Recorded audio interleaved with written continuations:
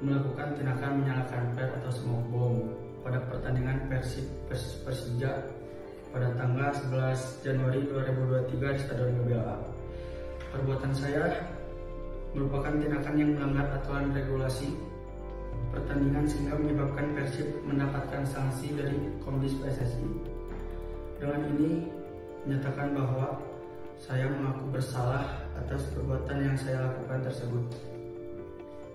Saya memohon maaf kepada Persib dan seluruh bobotoh yang merasa dirugikan dari perbuatan yang saya lakukan.